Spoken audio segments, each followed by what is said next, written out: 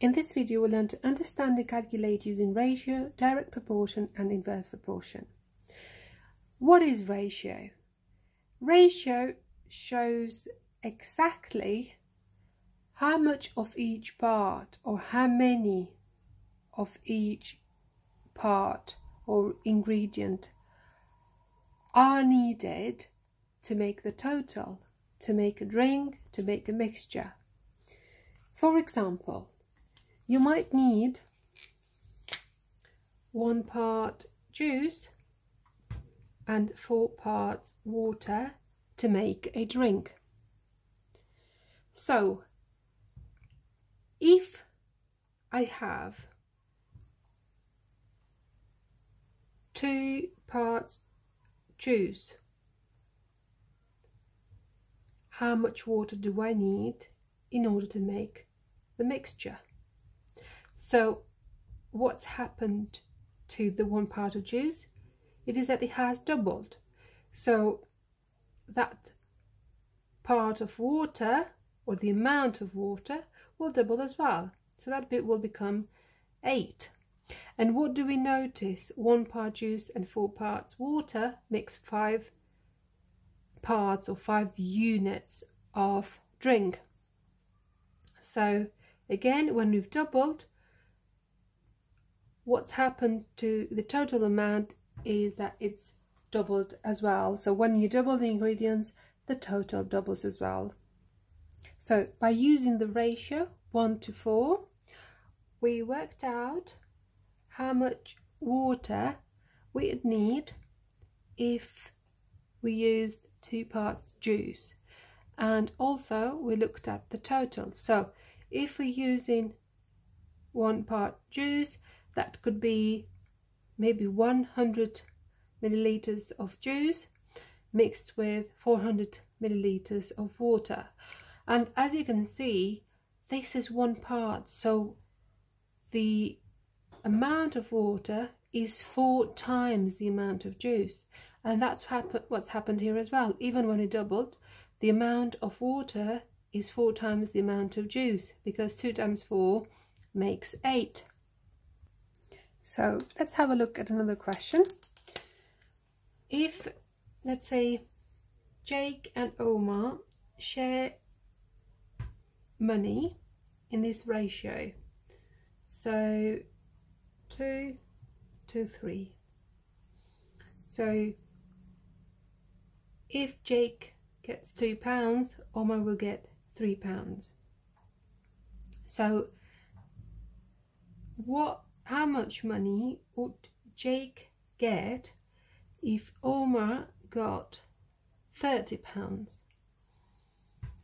So we'll look at what's happened. From 3 to get to 30 we multiplied by 10 so we've gone in 10 steps.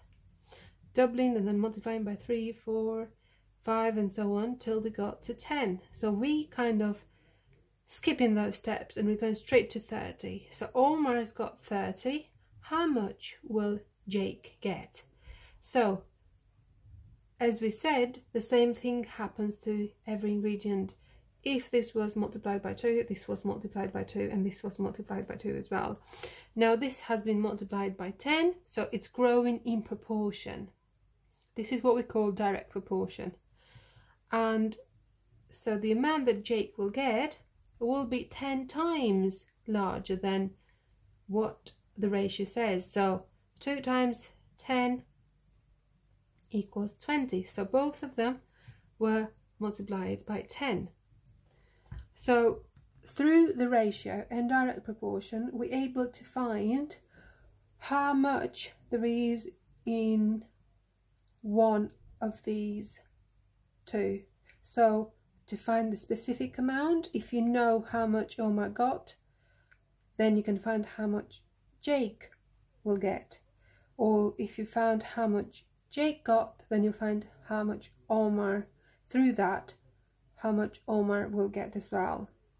So that's one question that you could answer by using ratio and direct proportion. So we'll now look at another type of question using ratio and direct proportion. So, so Anne and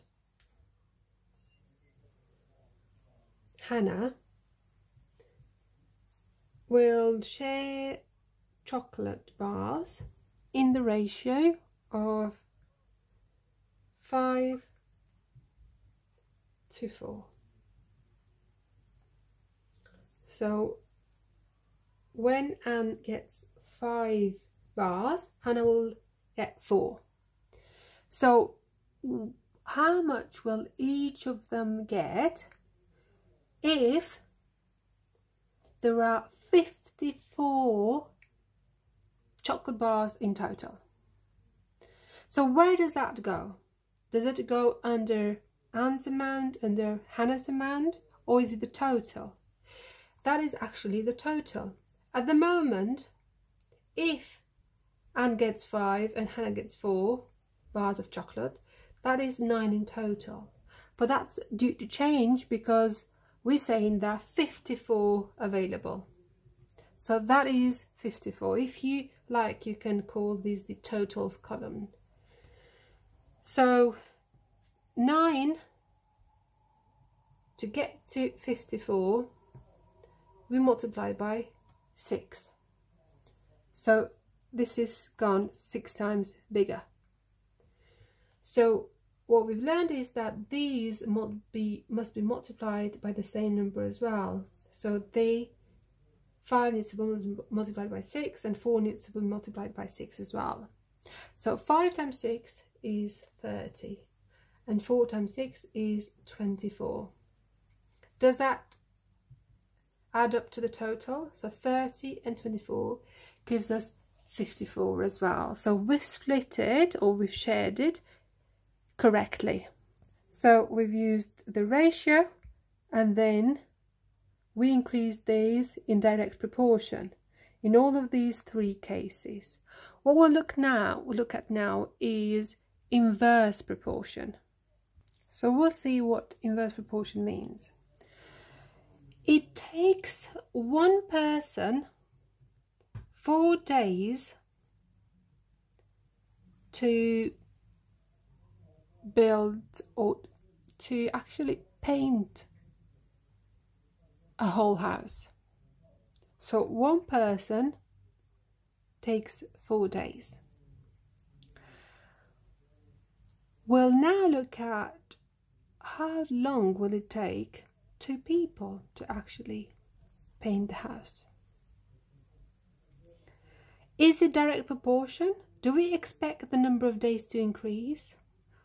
We know that that's not the case because if there are two people involved, it's not going to take as long to build to build or to paint the house. So what happens is something slightly different when it comes to inverse proportion because this is inverse proportion. So this grows bigger, this grows smaller. So what's happened from 1 to get to 2? We multiplied by 2. Now, in direct proportion, we said we'd do the same, we'd draw the arrow and multiply it by 2. But we don't expect two people to take 8 days to paint the house. So we don't expect this to double. What's going to happen instead is the opposite. So this will be divided by 2. So 4 divided by 2 makes 2. So two people will take two days to paint the house. So, in a hospital, when there is one nurse available, she's got to see all of the 12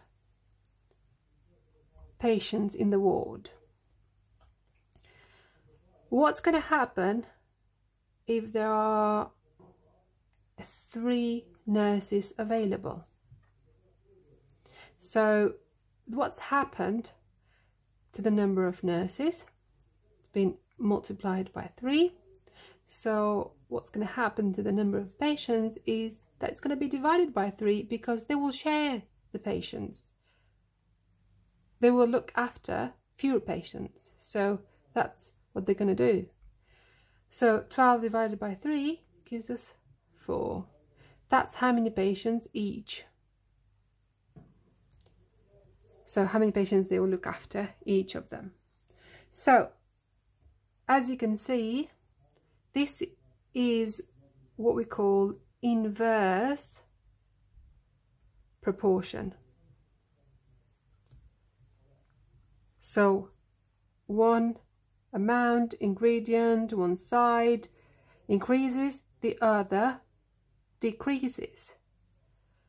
Whatever you multiply this side by, you divide the other side by.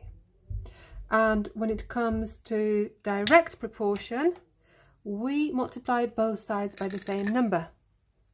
So this is direct proportion.